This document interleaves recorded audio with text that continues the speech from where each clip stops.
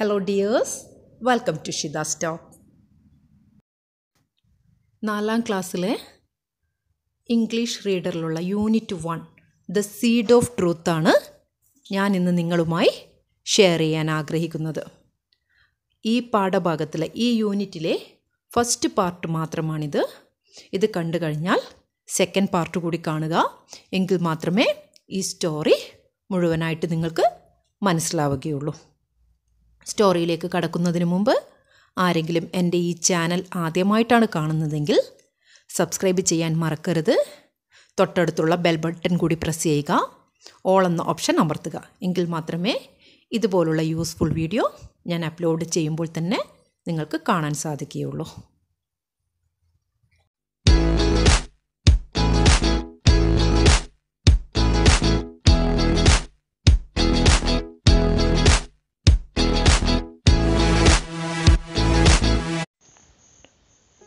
When we open the page, we can see a beautiful picture here.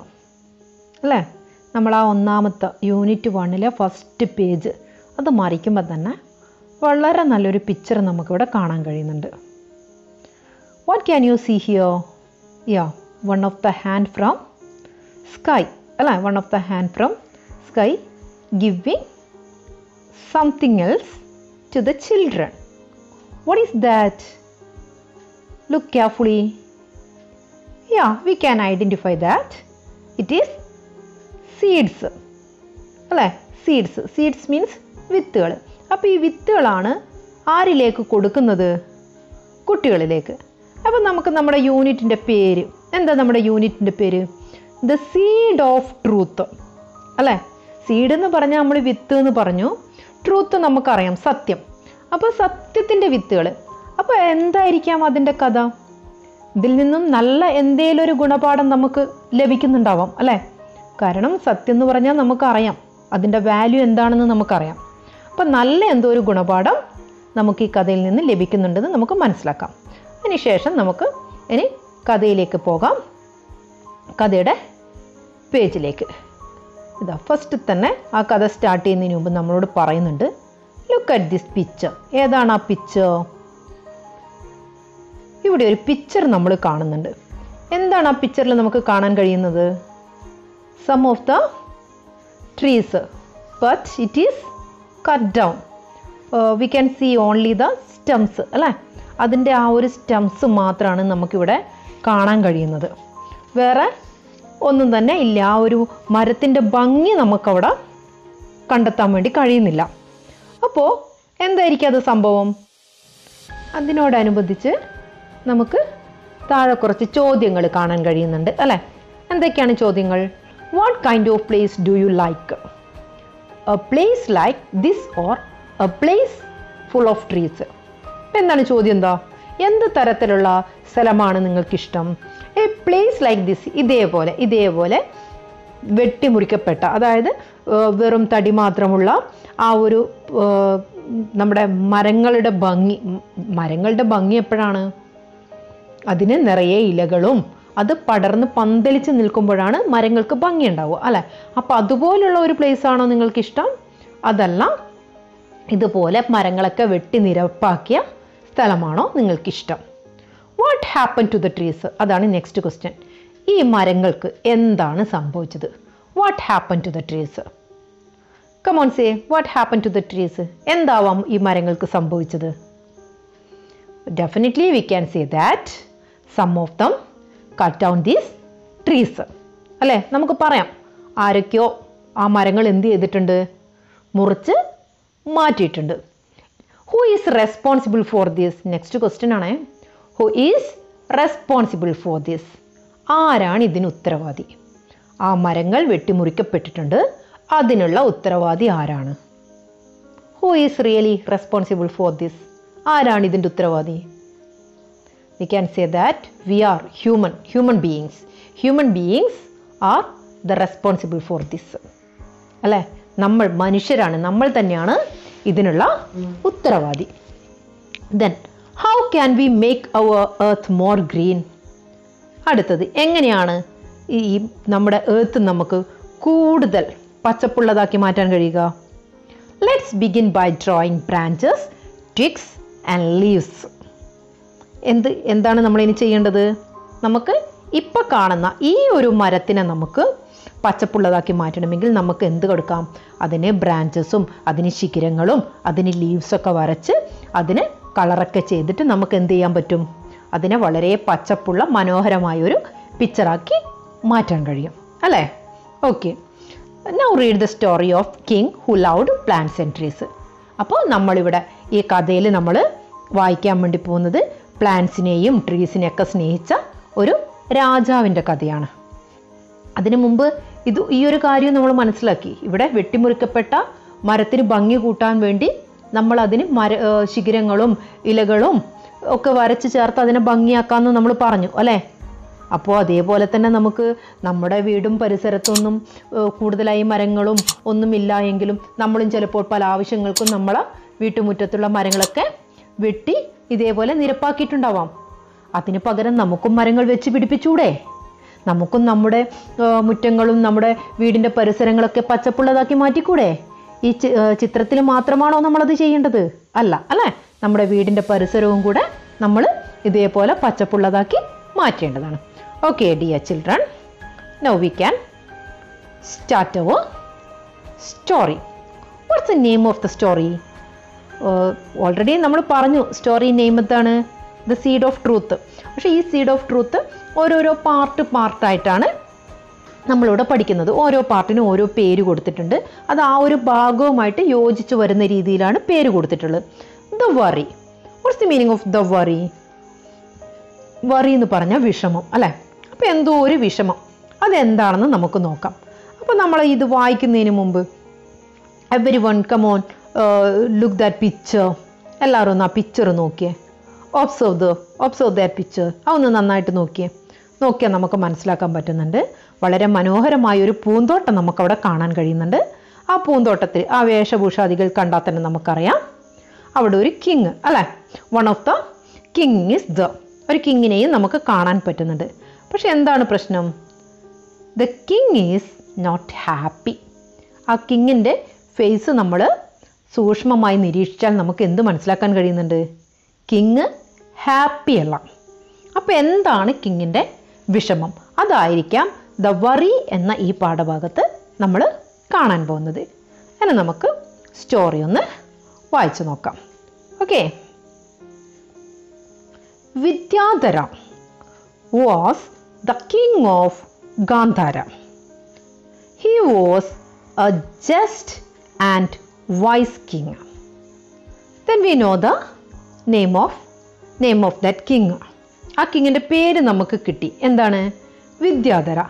Then what is his kingdom place what is his place name എന്താണ് അദ്ദേഹത്തിന്റെ place name എന്താണ്? ഗാന്ധാര. അല്ലേ?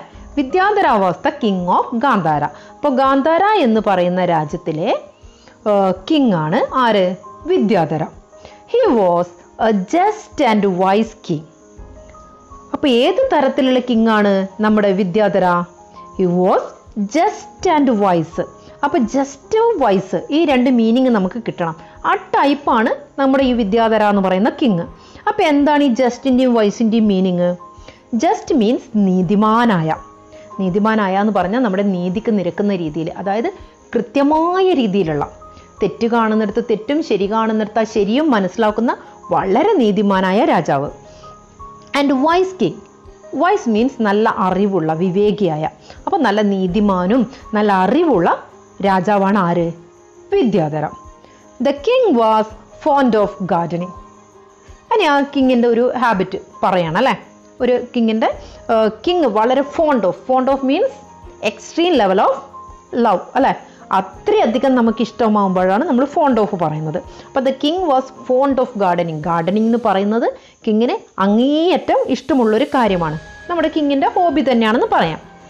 He spend a lot of time tending his garden planting the finest plants fruit trees vegetables and crops അപ്പോൾ he spend lot of time lot of time means ധാരാളം സമയം he spend spend means ചെലവഴിക്കുക. ധാരാളം സമയം ഈ രാജാവ് ചെലവഴിക്കുന്നത് എന്തിനു വേണ്ടിയിട്ടാണ്? ടെൻഡിങ് ഹിസ് ഗാർഡൻ അദ്ദേഹത്തിന്റെ ഗാർഡൻ പരിപാലിക്കുന്നതിന് വേണ്ടിയിട്ട് നോക്കുന്നതിന് വേണ്ടിയിട്ട് നന്നായിട്ട് സംരക്ഷിക്കുന്നതിന് വേണ്ടിയിട്ടാണ് കൂടുതൽ സമയവും നമ്മുടെ രാജാവ് സമയം കളയുന്നത്. പ്ലാന്റിങ് ദ ഫൈനസ്റ്റ് പ്ലാന്റ്സ് പിന്നെ നല്ല നല്ല ചെടികൾ നട്ടുപിടിപ്പിക്കുക. ഫ്രൂട്ട് ട്രീസ് നമ്മളെ കായ്കൾ കായ്കനികളൊക്കെ തരുന്ന ചെടികൾ വെച്ച് പിടിപ്പിക്കുക വെജിറ്റബിൾസ് ആൻഡ് ക്രോപ്സ് വെജിറ്റബിൾസ് പച്ചക്കറികൾ ക്രോപ്സ് ധാന്യങ്ങൾ. ചുരുക്കി പറഞ്ഞാൽ എല്ലാ തരത്തിൽപ്പെട്ട ചെടികളും ആര് ഈ ഗാർഡനിൽ വെച്ച് പിടിപ്പിക്കുന്നുണ്ട്? നമ്മുടെ കിങ്. എന്താണ് കിങ്ങിന്റെ പേര്? Vidyadhara. Okay. His people were very happy his people means രാജ രാജ ഒരു രാജ്യം രാജ്യം എന്ന് പറയുമ്പോൾ അവിടെ രാജാവും രാജ്യത്തിലെ. അതായത് ഇത് പഴയ കഥയാണ്. അതുകൊണ്ടാണ് നമ്മളിവിടെ രാജാവ് എന്ന് പറയുന്നത്. ഇപ്പം നമ്മുടെ ജനങ്ങളുടെ കാര്യങ്ങളൊക്കെ നോക്കുന്നത് ആരാണ്? മിനിസ്റ്റേഴ്സാണ് അല്ലേ? അപ്പം ഇവിടെ പഴയ കാലങ്ങളിൽ രാജഭരണത്തിന്റെ കാലത്ത് രാജാവിന്റെ കീഴിലായിരുന്നു ജനങ്ങൾ അപ്പം ജനങ്ങളുടെ കാര്യങ്ങളൊക്കെ നോക്കി നടത്തിയിരുന്നത് രാജാവാണ്. അപ്പോൾ ഈ രാജാവിന്റെ ജനങ്ങളെല്ലാം അതാണ് ഇവിടെ ഹിസ് പീപ്പിൾ എന്ന് പറയുന്നത് രാജാവിന്റെ ജനങ്ങൾ രാജാവിന്റെ ആ ജനങ്ങളൊക്കെ വളരെ ഹാപ്പി ആയിരുന്നു. The king did not have children അവിടെ ഒരു പ്രശ്നമുണ്ട്. കിങ്ങിന് എന്തില്ല? കുട്ടികളില്ല. അപ്പോൾ തീർച്ചയായും രാജാവിന് വിഷമം ഉണ്ടാവും അല്ലേ? ഇനി എന്താണ് നമുക്ക് നോക്കാം. ശരിക്കുള്ള വിഷമത്തിന്റെ കാരണം എന്താണെന്ന് നമുക്ക് നോക്കാം. As the king grew older everyone got more and more worried ഓരോ വർഷം കഴിയുന്നേന കിങ്ങിന് ഓരോ വയസ്സ് കൂടിക്കൂടി വരികയാണ്. കിങ് പ്രായം കൂടിക്കൂടി വരികയാണ്. അപ്പോൾ എല്ലാവരും ആ രാജ്യത്തുള്ളവരും വളരെയധികം വറീഡാണ് എന്തായിരിക്കാം അവ അവരുടെ വറീഡ് അവരുടെ വിഷമത്തിനുള്ള കാരണം എന്താണ്? Who would take over the kingdom after him ആരാണ് ഈ രാജ്യം? വിദ്യാധരയുടെ ഗാന്ധാര എന്ന് പറയുന്ന രാജ്യം ഈ രാജാവിന് ശേഷം. രാജാവിന് ശേഷം മീൻസ് പ്രായമാകുമ്പോൾ നമുക്കറിയാം അല്ലേ? ഇവിടെ ആരും നമ്മുടെ ഈ ഭൂമി ലോകത്ത് ആരും മരിക്കാതെ അങ്ങനെയങ്ങ് നിൽക്കുന്നില്ലല്ലോ? ഇല്ല. പ്രായമാകുമ്പോൾ എല്ലാവരും മരിക്കും. അപ്പോൾ രാജാവിന്റെ കാലശേഷം രാജാവ് മരണപ്പെട്ടു കഴിഞ്ഞാൽ പിന്നെ ആരായിരിക്കും ആ രാജ്യം ഭരിക്കുക? അതായത് രാജാവിന് മക്കളുണ്ടെങ്കിൽ സ്വാഭാവികമായിട്ടും രാജാവ് മരിച്ചാൽ രാജാവിന്റെ മക്കളാണ് രാജ്യം നോക്കി നടത്തുക. ഇവിടെ രാജാവിന് ആരില്ല? മക്കളില്ല. അപ്പോൾ നമുക്ക് എന്ത് മനസ്സിലായി? അത് തന്നെയാണ് നമ്മുടെ രാജാവിന്റെ വിഷമവും. നമ്മൾ ആദ്യം കണ്ടല്ലോ രാജാവ് വളരെയധികം വിഷമത്തിലാണുള്ളതെന്ന് നമ്മൾ ആ പിക്ചറിൽ മനസ്സിലാക്കിയിട്ടുണ്ട്. അപ്പോൾ ആ ഒരു പാർട്ട് വായിച്ചപ്പോൾ രാജാവിന്റെ വിഷമത്തിനുള്ള കാരണവും നമുക്ക് മനസ്സിലായി. അല്ലെ? അതിനോടനുബന്ധിച്ചിട്ട് ഒരു രണ്ട് മൂന്ന് ക്വസ്റ്റ്യൻസ് അവിടെ നമുക്ക് കാണാൻ കഴിയും. അതിന്റെ ആൻസർ എന്താണെന്ന് നമുക്ക് നോക്കിക്കൂടെ? What was the hobby of the king കിങ്ങിന്റെ hobby എന്താ? വിനോദം എന്താ? എന്താണ്? വളരെ എളുപ്പത്തിൽ നമുക്ക് പറയാം. ഗാർഡനിങ് അല്ലേ? ഗാർഡനിങ് ആണ് നമ്മുടെ കിങ്ങിന്റെ hobby the king did not have in children what will happen to the kingdom അതൊരു പ്രധാന ക്വസ്റ്റ്യൻ ആണ്. നമ്മുടെ രാജാവിന് ആരില്ല? മക്കളില്ല. അപ്പം what will happen to the kingdom രാജ്യത്തിന് അദ്ദേഹത്തിന് ശേഷം എന്ത് സംഭവിക്കും? ആ രാജ്യത്തിന് എന്ത് സംഭവിക്കും? എന്താവും സംഭവിക്കുക? The will be nobody to take over the kingdom after him അദ്ദേഹത്തിന് ശേഷം ആ ഭരണാധികാരം കൈകൊള്ളാൻ അവിടെ അദ്ദേഹത്തിന്റെ പിൻഗാമിയായിട്ട് അദ്ദേഹത്തിന് ആരും മക്കളായിട്ട് ആരും ഇല്ല അത് തന്നെയാണ് അവിടെ പ്രശ്നം. അദ്ദേഹത്തിന് ശേഷം ആ രാജ്യം അദ്ദേഹത്തിന്റെ ആ ഒരു ഭരണാധികാരം കൈകൊള്ളാൻ വേണ്ടിയിട്ട് ആരും അദ്ദേഹത്തിനില്ല. അതാണ് പ്രശ്നം. How will the king find his successor എങ്ങനെയായിരിക്കാം king സക്സസറെ കണ്ടെത്തുന്നത്? അതാണ് അടുത്ത ക്വസ്റ്റ്യൻ അത് നമുക്ക് ഊഹിച്ചിട്ട് നമുക്ക് നമ്മുടേതായ പല അഭിപ്രായങ്ങളും നമുക്ക് പറയാം അല്ലേ? രാജാവ് ആരെയെങ്കിലും സെലക്ട് ചെയ്യായിരിക്കും പലതും നമുക്ക് പറയാം. പക്ഷെ നമ്മുടെ സ്റ്റോറി ഇവിടെ തീരുന്നില്ല. അടുത്ത പേജിലേക്കും പോകുന്നുണ്ട്. അപ്പം നമുക്ക് അടുത്ത പേജും കൂടി ഒന്ന് വായിച്ച് എന്തായിരിക്കും എങ്ങനെയായിരിക്കും കണ്ടെത്തുക എന്നൊക്കെ നമുക്ക് മനസ്സിലാക്കാം അല്ലേ? Next next page a proclamation എന്താണ് പ്രൊക്ലമേഷൻ എന്ന് പറഞ്ഞാൽ എന്താണ്? ഇവിടെ ഒരു രാജഭരണകാലത്തുണ്ടാവുന്ന പല കാര്യങ്ങൾ ഒരു ഒരു ചെറിയൊരു രൂപം നമുക്ക് ഈ പിക്ചറിൽ കിട്ടുന്നുണ്ട് അല്ലേ? രാജാവിന്റെ അടുത്ത് തന്നെ രാജാവിന്റെ പഠനം കാണുന്നുണ്ട്.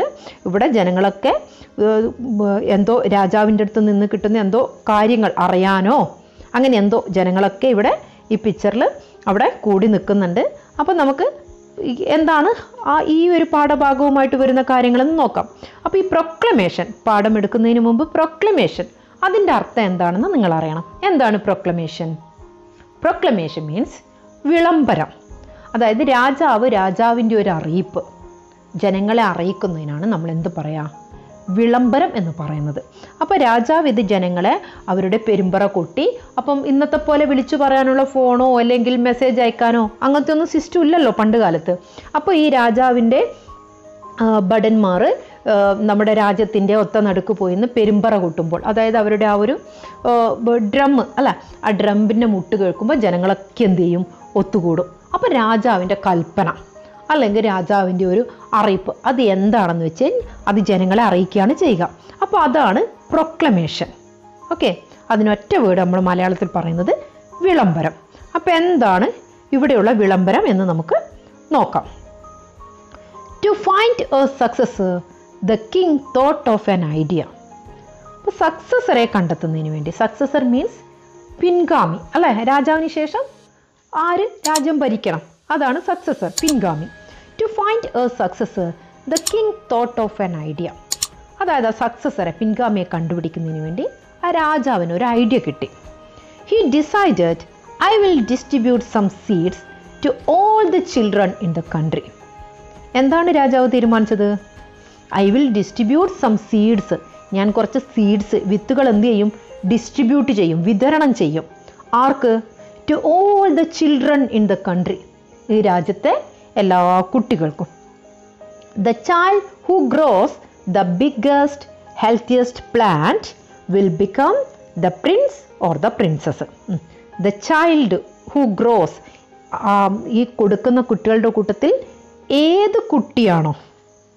നല്ല വലിപ്പമുള്ള നല്ല ആരോഗ്യമുള്ള ചെടി.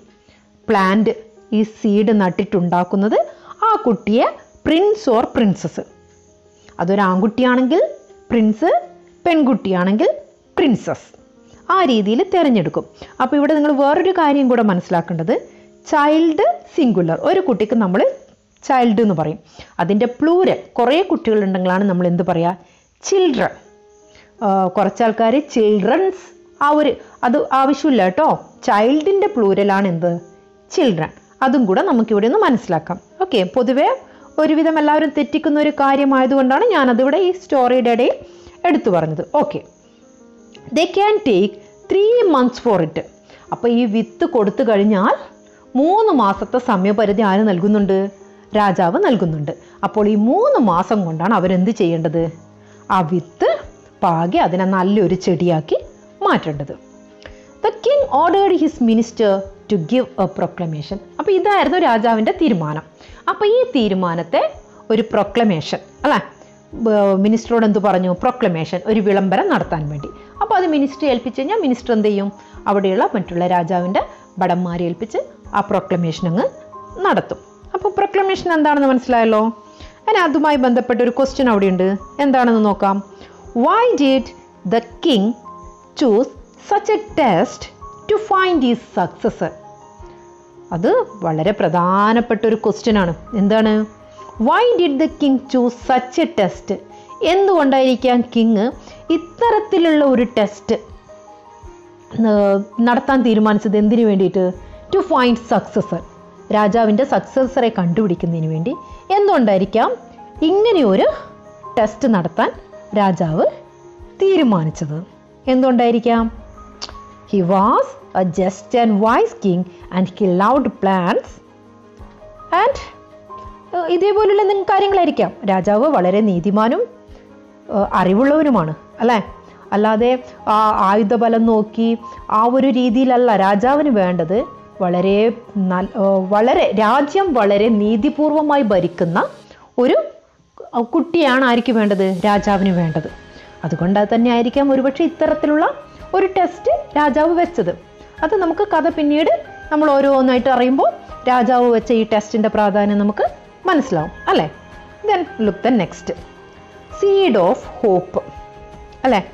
സീഡ് ഓഫ് ഹോപ്പ് എന്താണ് സീഡ് ഓഫ് ഹോപ്പ് എന്ന് പറഞ്ഞാൽ ആ പ്രത്യാശയുള്ള പ്രത്യാശയുടെ വിത്ത്. ഹോപ്പ് എന്ന് പറഞ്ഞാൽ ഒരു പ്രത്യാശ പ്രതീക്ഷ എന്നൊക്കെ നമ്മൾ പറയും.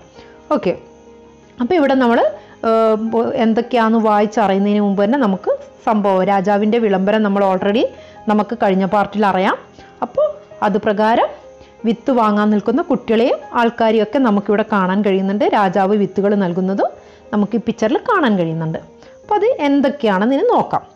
The next day a long line of anxious parents and children formed outside the parents അപ്പോൾ രാജ വിളംബരം കിട്ടി തൊട്ടടുത്ത ദിവസം തന്നെ ഒരു വലിയ നിര ആൻഷ്യസ് ആയിട്ടുള്ള അതായത് ഉത്കണ്ഠാകുലരായ പാരൻസിന്റെയും കുട്ടികളുടെയും ഒരു നീണ്ട നിര തന്നെ ആ രാജകൊട്ടാരത്തിന്റെ മുമ്പിൽ കാണപ്പെട്ടു. കാരണം ഇങ്ങനെയൊരു ചാൻസ് കിട്ടിയാൽ ആരെങ്കിലും വേണ്ട നോക്കുമോ ആ ആ രാജാവ് തരുന്ന വിത്ത് വാങ്ങി നട്ട് നല്ലൊരു പ്ലാന്റ് ആവുകയാണെങ്കിൽ വളരെ നല്ലൊരു ചാൻസ് അല്ലേ കിട്ടുന്നത്?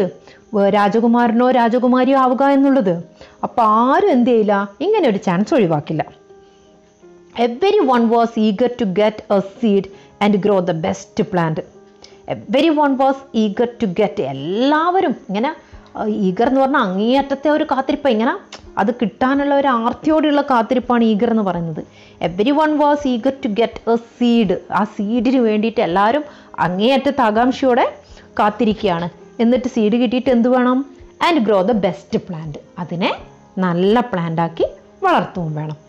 Pingala a poor farmer's son was one among these children അപ്പോൾ പിങ്കള എന്ന് പറയുന്ന ഒരു കുട്ടിയും എ പുവർ ഫാമേഴ്സ് സൺ ഒരു പാവപ്പെട്ട ഫാർമറുടെ മകൻ.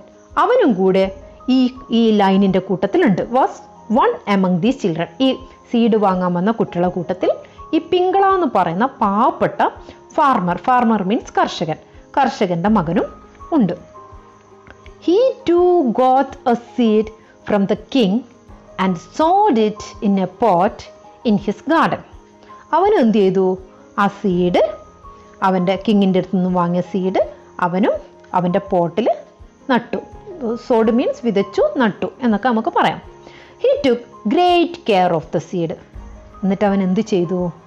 നല്ല കെയറും ആ സീഡിന് നല്ല കെയറും കൊടുത്തു. കാരണം ഒരു സീഡ് അത് കാരണം ഈ സീഡിന് പ്രത്യേകതയുണ്ട്. പ്രത്യേകതയുണ്ട് എന്നല്ല ഈ സീഡിനെ സംബന്ധിച്ചുള്ള അതിന് വാല്യൂ കൂടുതലുണ്ട്. കാരണം ആ സീഡിൽ നിന്ന് നല്ല ഒരു പ്ലാന്റ് ആയിക്കഴിഞ്ഞാൽ മാത്രമേ എന്ത് കിട്ടുള്ളൂ? ആ നെക്സ്റ്റ് രാജാവിന് കാലശേഷമുള്ള അല്ലെങ്കിൽ രാജാവ് ഇപ്പം തന്നെ അവരെ പ്രിൻസോ പ്രിൻസസ്സോ ആയിട്ട് തിരഞ്ഞെടുക്കും അല്ലേ? ആ ഒരു ചാൻസ് കിട്ടാൻ വേണ്ടി ആ ഒരു ലെവലിൽ നമ്മൾ ചിന്തിക്കുമ്പോൾ ആ ഒരു ചാൻസിന് വേണ്ടി ചിന്തിക്കുമ്പോൾ ഈ സീഡ് കിട്ടി അതിനെ വളരെ നല്ലൊരു പ്ലാന്റാക്കി മാറ്റുക എന്ന് പറഞ്ഞാൽ അതിന് അത്രയധികം വാല്യൂ ഉണ്ട്. ഓക്കെ ഇനി ഈ പാഠഭാഗമായിട്ടുള്ള ക്വസ്റ്റ്യൻസ് നമുക്ക് നോക്കാം.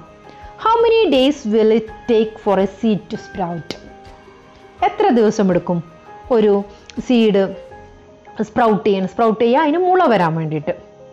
എത്ര ദിവസം എടുക്കും?